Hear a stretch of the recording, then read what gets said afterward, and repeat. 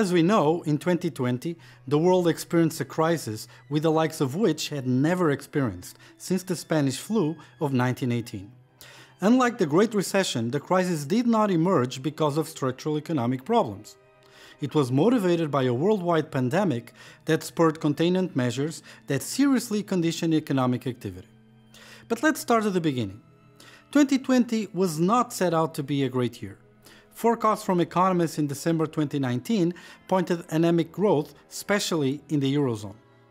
The world as a whole would grow at about 2.5%, around 2% in the US, 6% for China, and about 1% in the Eurozone. We fast forward to March 2020, and by the end of the month, the COVID 19 epidemic was now a full blown pandemic, with Italy and Spain health systems in severe stress. Forecasts were revised downwards, and the forecast for the world was now of no growth, slightly negative for the US, where the pandemic had not yet reached with full force, marginal positive growth for China, and a very negative outlook for the Eurozone, of close to minus 3% of GDP growth. However, everyone recognized that this was not your everyday crisis, or even the type of financial crisis that occurs less often, but for which there was a lot of work already done in understanding the respective dynamics. As such, these were forecasts with a very high degree of uncertainty. Forecasters also pointed to a downside scenario, where they believe that the world as a whole could contract to a bit over 1%, the US close to 3%, China to around 1%, and the Eurozone a bit over 3%. We reached June, and now forecasts changed dramatically. Draconian constraints to economic and social activity are in place in most developed economies, giving rise to supply chain disruptions, business closures, and mass layoffs. Forecasters are now very pessimistic about growth prospects in 2020, with expectations about world growth contractions being close to 5%, 8% for the US, and 10.2% for the Eurozone. The prospects for China were already better though, as a consequence of the fact that policies in place to fight the pandemic had been started earlier and were now producing some results. The summer passes and the epidemiological scenario lightens a bit, also as a consequence of the seasonal characteristics of respiratory viruses. News of vaccines being available in the future improve the outlook, at the same time that rescue packages are now being consolidated and implemented full throttle across the world.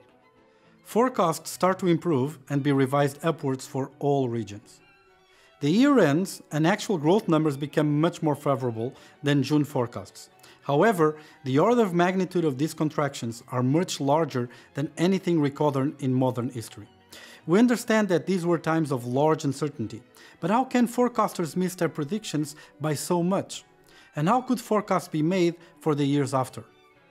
It is good to remind the words of Harry Truman, former president of the US, that once complained and asked for a one hand economist, because every time he needed advice, economists always said that on one hand this, but on the other hand that. And that is precisely what economists did. Economists recognized there was a fundamental dimension of the crisis that was outside their area of expertise and which would seriously condition any economic developments that could arise, precisely the epidemiological dimension. Any economic forecast would depend crucially on COVID 19 dynamics. Scenarios were drawn conditional on the degree to which health policies would be effective in containing the pandemic, from being able to prevent community dissemination to being unable to create the conditions that would allow the end of restrictions to economic activity. But of course, even along the economic dimension, there's a lot of uncertainty. Even under normal circumstances, it is not an easy task to predict the effectiveness of economic policies. As such, more scenarios were drawn, conditionally on the ability that policymakers would have in preventing job and firm destruction. These possible scenarios gave rise to conjectures regarding the speed and resilience of the economic recovery, depending on both economic and epidemiological factors. Would vaccines be effective? Would we have more waves of infection? Would economic policies help viable firms weather the crisis? As you can see, there are many unknowns that make it very hard to have firm ideas regarding what would happen in the future, especially in such exceptional times. At the same time, there was a polarizing discussion regarding the usefulness of non pharmaceutical interventions as restrictions to social and economic activity became known. Correia and co-authors' preliminary work on the Spanish flu of 1918 actually show that cities in the US that pursued more aggressive restrictions at the time enjoyed less mortality and stronger subsequent economic growth, as compared with other US cities where the response to the pandemic was less restrictive. Is this proof that confinement strategies are indeed the way to go? Remember the limitations we alluded to when looking at these kind of studies. At best, what the authors did was to prove that indeed confinement measures were effective in 1918 in the US in the context of the Spanish flu. The issue, as almost always, is external validity. The world economy in 2020 was very different from 1918. At the same time, the pandemic itself had also different features. The COVID 19 pandemic seemed to have a much milder impact on young adults in working age, for example. So, what can we make of this? Well, it is good to remember that if considered only in the very short run, there is no doubt that more restrictions mean less economy, even if better health outcomes. But economies are dynamic, and what this study suggests is the real possibility that such restrictions might lead to better economic outcomes in the future. What were the prospects for 2021 then? The IMF produced forecasts that foresee strong rebounds for all regions and the world economy as a whole. There was the perception that there were not major structural issues in different economic blocks as the pandemic hit, and that once the epidemic dimension would be under control and restrictions to economic activity would cease, economies would rebound and compensate the drastic drops they have experienced in 2020. Differences in the robustness of recovery in the case of the US versus Eurozone, reflect different policy responses. The US government provided fiscal support to their economy to a much greater extent than any economy of the Eurozone did, and therefore, expectations were that growth in the US would be much more robust in the short run.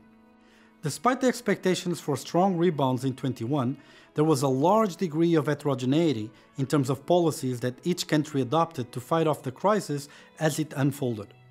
Anderson and co-authors compiled data regarding fiscal policies in 2020. They divided them into direct fiscal support, which constitutes direct transfers or tax relief, which have implications for government budgets, credit and tax deferrals that only affect payment timings and thus do not constitute a fiscal burden, and other liquidity measures, mostly government guarantees to private loans, which have also limited budget consequences. First, we can see that the US had the strongest fiscal response to the crisis, and this difference only grew larger as time went by. Second, it is important to remember that direct state aid to companies is heavily restricted by EU treaties. But most of these restrictions were suspended during the state of emergency that was declared in most countries. Some of them took the opportunity to provide robust fiscal aid to the private sector while others put a lot more weight into providing liquidity, giving little support in terms of direct transfers and tax relief. This difference is important because liquidity measures do help in providing temporary relief but do not address the solvency problems that many companies face due to months of accumulated fixed costs from capital payments to infrastructure upkeeping. Also, this has consequences for firm competitiveness, especially if we take into account that firms from different countries in the Eurozone do compete in the same markets. It is hard to argue which was the best approach, as the answer is quantitative in nature. There are trade offs involved in providing fiscal support. On one hand, it allows viable businesses to remain open and competitive, on the other hand, it constitutes a fiscal burden for households and firms in the future and prevents the natural process of structural transformation in the economy in response to changes in the economic environment. The answer would only be provided later, on as numbers related to job and firm distractions emerge and provide a clearer picture of the extent to which fiscal policy prevented a deeper recession and promoted a faster recovery. Another piece of research that raised some flags regarding the health of the financial sector in the aftermath of the COVID 19 pandemic was brought up by Kasinger and co authors. they focused on the impact that credit deferrals could have in the stock of non performing loans. This is a very important aspect to take into account, as the worst thing that could happen would be a financial crisis stemming from households, firms, and even governments not being able to make good on their debts. The authors had two approaches. First, to have a ballpark idea of the resilience of the financial sectors in each country, they looked at the range of impact on bank equity if 0 to 50% of all credit deferrals would become non performing. The analysis shows that for some countries, this can lead to serious problems as the amount of non performing credit would exceed 100% of equity, sometimes even 200%. For the second approach, the authors used historical relationships between the share of loans that become non performing during crisis to infer the potential impact that the current crisis would have. Again, the results raised serious concerns for some economies, and this was definitely a dimension that motivated close monitoring by the main regulatory and policy agencies. Lastly, it is good to remember that regardless of existing significant differences in terms of fiscal support that the different governments provided to their respective economies, most of them constituted very large interventions, even for historical standards. The US were probably the country where the fiscal support was the strongest, and the concerns regarding pressures on prices started to arise. A surge in inflation could potentially threaten the recovery, as the Federal Reserve might be pushed to increase interest rates, thus raising the cost of capital in a context where debt spiked due to the crisis. As we can see in the figure, the difference between the nominal rate of return of government bonds and government bonds indexed to inflation, which captures what markets expect inflation to be over the next years, started to increase, and by the middle of 2021 had exceeded the 2% value that serves as reference for price stability for central banks by half a percentage point, suggesting that the Federal Reserve Board might have to intervene. Inflation numbers have since shown that much of the price spikes were concentrated in food and energy, items that are excluded from Federal Reserve Board considerations when looking at price stability, and also due to supply chain disruptions that were believed to be temporary. Expectations stabilized afterwards, hovering around 2.5%, which at the time ended up not raising much concern. In Europe, inflation expectations suggested much lower numbers, perhaps as a consequence also of much lower fiscal interventions, and consequently, it was not a primary concern in the region. Nevertheless, it is good to remember that developed economies have experienced already a large period of interest rates close to zero. Debt is reaching record levels all across. In a world where interest rates might have to be brought up to fight inflation, this may imply that much of the debt, be it in the hands of governments, firms, or households, might become unsustainable. And this is a dimension of the economy that most surely must be under close watch.